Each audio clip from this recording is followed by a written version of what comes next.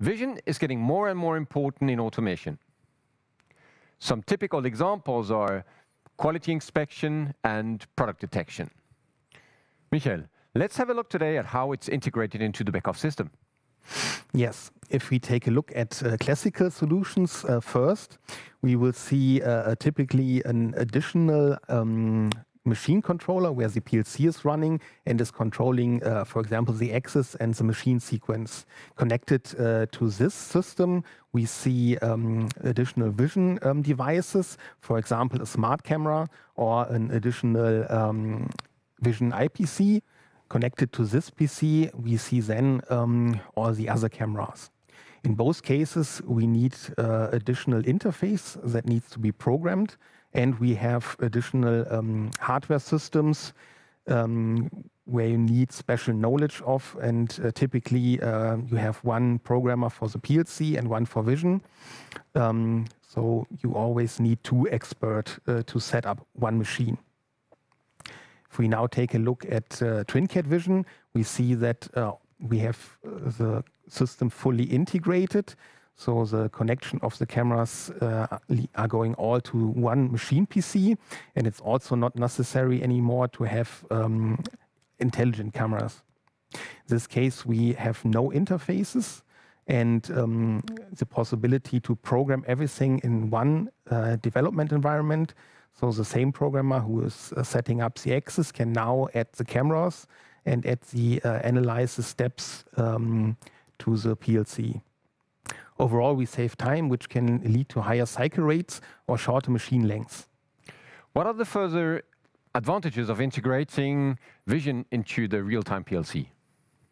If we again um, look at the classical approach also first, we see uh, the uh, camera driver, which receives the images, then uh, transfers them to the user mode application, which is doing the analysis, and then reporting back the information to the PLC, It can then um, lead to any reactions.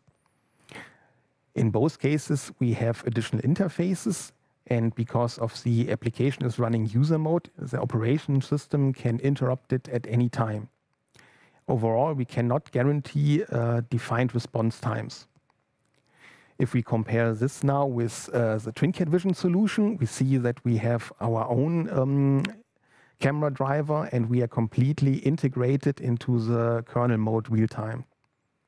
Our own driver provides direct access to the images for the PLC. In this case, we don't have any additional interfaces um, which um, have latencies. And because of we are running in the kernel mode with our task system, we can uh, guarantee a deterministic behavior if the image content is not changing dramatically. Let's dive a bit further into the TwinCAT vision architecture. If we take a closer look to the components that are available after installation, we first see the um, tools for engineering. Means we can add a camera like an axis in the system manager. We have a file source control to um, read uh, images from the hard disk, and we can provide an extensive uh, library for PLC programming. In the real-time um, mode, we find the new camera object, which uh, implements the GigE Vision interface and our real-time driver to receive the images. Overall, we benefit from existing technologies like uh, EtherCAT and XFC. In case of using the uh, EL2596 terminal, we can generate a light pulse and the camera trigger at the same time and coordinate um, this pulse very precisely to any motion position by a distributed clock's um, timestamp. So you mentioned that we're using the GIG E vision standard. Why did we opt in for this one and not for another standard? So the main advantage is that it's a worldwide uh, accepted and widespread standard. It's very suitable for our industry because it's based on Ethernet and very stable, and therefore we we don't need any additional interface cards and can use our whole IPC portfolio, especially our embedded IPCs. We can use many different camera types or sensors, resolutions, and also different technologies like line cameras, thermography cameras, or uh, polarization cameras and other special devices as long as they implement uh, the GigE Vision standard. Our GigE Vision connector is officially certified by the IAA. In this case, we can guarantee the functionality and compatibility also in future. The GigE Vision standard gives us a lot of flexibility in terms of the choice of the camera. What are the other advantages of our architecture? If we take a closer look to the vision architecture, we first see the different uh, opportunities that we have to acquire images. First uh, is the file source control, where we can um, upload images from the hard disk, the um, camera driver to receive images from cameras, and um, our, all of our other protocols where we can receive data. The algorithms um, for the analysis are generally written in C++, and we provide the library with a wrapper for the PLC. Next year, it will be possible uh, to use the library direct uh, for C++ programming, and we will have an interface for MATLAB Simulink. All the time, you can um, program your own algorithms because we provide uh, fully access to the image data, which goes down to a single pixel. Generally, it is also possible to uh, save images uh, to the hard disk.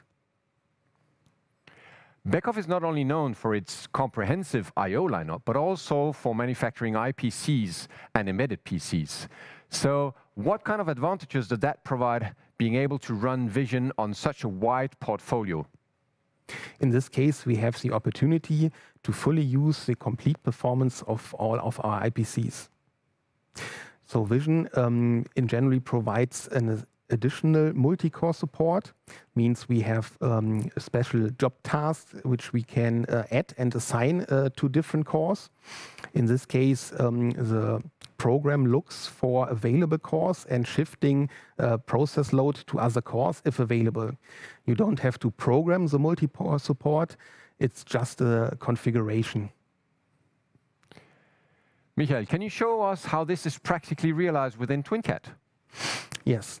I've brought uh, some examples. The first one shows um, how easy it is uh, to create a camera, to get a connection, to configure the image parameters and uh, get the images to the PLC.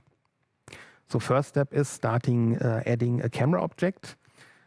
And um, now the assistants the assistant asks us to uh, select an Ethernet interface or add a new one. Then we have the opportunity to uh, search for connected cameras via broadcast signal and just um, select the right one and we read out all the necessary information and you directly can start uh, the image acquisition and get a live view. You can also change all parameters, uh, for example, the exposure time, um, activate uh, debayering to get um, the color image, to uh, set region of interest and all other parameters that are necessary. In the PLC, the small state machine is enough uh, to, con to connect to the camera and um, get access to the images. And this um, ADS image watch allows us to view all the images that we have in the PLC and with just uh, one additional line of code, we can also convert uh, the image to a colored image. So second example is uh, working offline with the file source control and developing the program by online change. So I've already added a file source control. Now we next step is that we have to add the images to it and uh, set up a cycle time if we want to use this or the PLC could trigger the images. In the PLC, I've prepared a program with a color filter, and now I'm continuously adding more and more functions uh, to do an analysis. On the right side, we see um, the objects which are already marked, and now we um, can identify the color, uh, calculate a center point, and um, add a region around it to maybe do a collision check and provide the um, center point to a robot for picking. The last example is from the measurement package, and we start with the um, calibration assistant that we provide. This assistant allows us to first collect images uh, with specific uh, pattern, uh, like chessboards or uh, circle patterns. First step is that we take different um, images and add them to the image collection. Then we have to define uh, the pattern parameters and are able to calculate the intrinsic and extrinsic matrices and store them in the camera object. From the PLC, we can um, we have access to these uh, matrices and can simply load them and use specific function to calculate uh, the pixel distance that we see here now in um, millimeter values. It would also be possible to um, recalculate the center point uh, and shift it uh, to a robot coordinate system. Now, could you break down all these capabilities into functions? Yes, the first example is uh, from the base library. Here we use the blob tool to first detect all the objects and then have the opportunity to directly filter for different criteria. In this case, we filtered for uh, the area size and for circularity. The final result is that we just have here uh, marked the contours of the round objects and uh, did not recognize all the other parts. The next example is from the measurement package. Here we see um, a combined measurement of different um, values. So first we have to define um, the points where we measure. This can be related to the center point again. That gives us the opportunity if the object is not perfectly aligned in the image, we can still find all the measurement points. The measurements itself are executed um, in a case machine. So in the end, we have all these um, single results and then can um, determine if they are inside our limit or inside our range and if it's a good part or not. The last example is from the uh, code reading um, package where we offer um, several 1D and 2D code reading functions um, and support a lot of uh, code types. Then I have a um, practical example from last year's SPS show where we um, had the large XPlanar presenter. Integrated in this presenter, we um, have two vision, stations. The first station is uh, checking if the part is present, if it's complete. And afterwards, it's reading the code to identify the part, which allows us in combination with, with the XPlanar system to um, yeah, move the um, part individually to any processing station. Here we only had one processing station, that's why the, the movers have to wait for it. Uh, this station is um, providing a glue seam um, to the circuit board. And right after that, we have a quality inspection where we um, yeah, detect if the seam is complete and if it's uh, the right uh, thickness at spe specific um, points that we defined before. If it's an okay part, um, the mover will go to the um, cooling or drying station. And if it's uh, not okay, we again have the flexibility with the XPlanar system to go move the to any extraction point. What are the products within TwinCAT that covers these functionalities? In general, the functionality splits up in two packages. So the first package is the um, GigE Vision connector, which provides uh, the camera interface. And uh, the second product is the Vision Library for um, providing the functionalities to the PLC. In both cases, we need the base package first. For the connector, um, it already contains uh, two possible camera connections. If you need more, you can use one of these extension packages.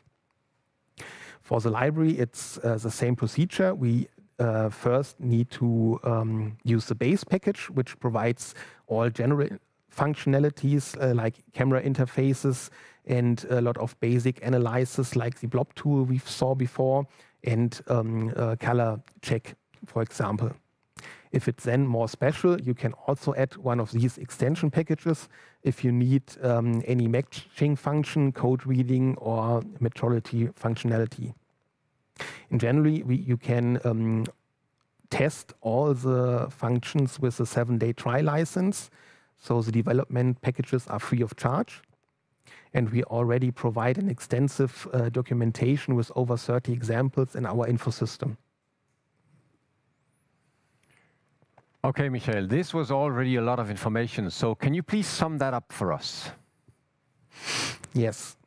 So we saw that vision is uh, very deep integrated into the whole TwinCAT, TwinCAT 3 architecture.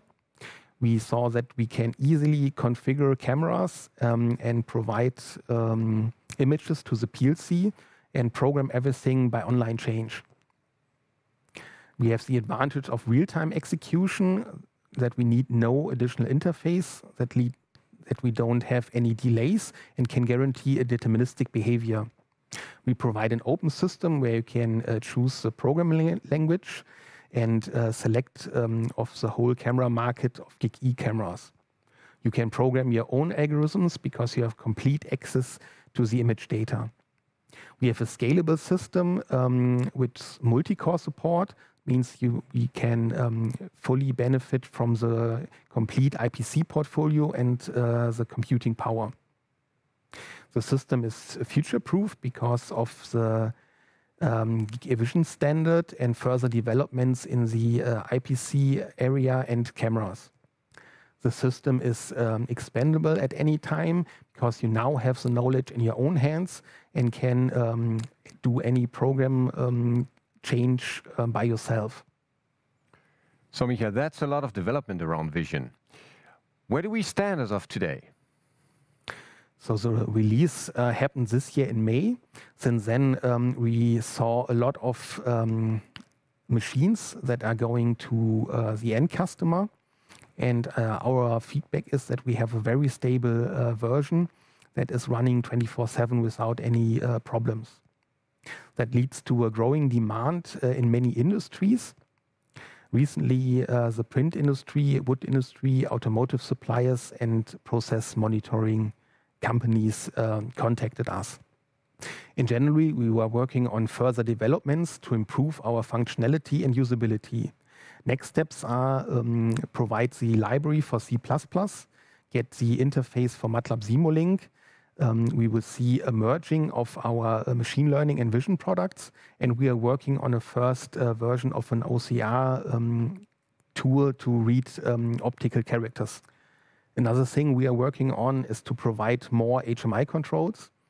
Until now, it was uh, possible to easily um, get the image to the HMI, and now we are working on um, controls with additional functions. For example, you can zoom in and out to the image, move the image into the in in the um, control area.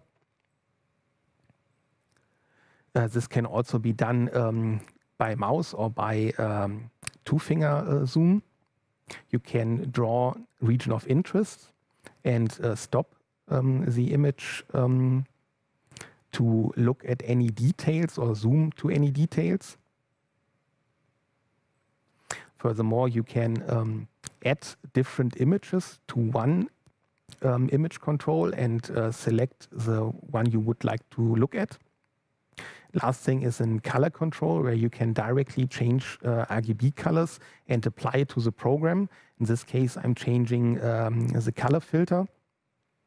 So overall, we are looking to provide more functionality that it's uh, easier and uh, more ready to use, and you don't have to program um, much by yourself.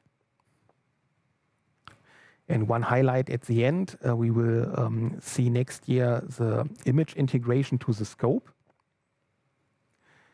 On the right side, we see no image uh, charts that will be available then. The upper two images are uh, updating event-based. The lower image is uh, running continuously. Now we have the possibility uh, to merge uh, the image with an existing chart by drag and drop. This allows us to um, yeah, stop the recording of this image and we can um, yeah, zoom in and use the marker, in this case, to um, watch the vacuum signal from the uh, gripper and uh, look at the images, what happened at this moment. We um, additionally have an image track um, that allows us to keep through the images. In this case, the marker will follow um, the image and um, jump to the timestamp. The advantage is that we have um, both um, signals synchronized by the same system time. that allows us to uh, debug uh, very precisely and find out what happened um, at any um, point of this uh, recording. Should you have further questions, please feel free to contact us via our website www.beckhoff.com.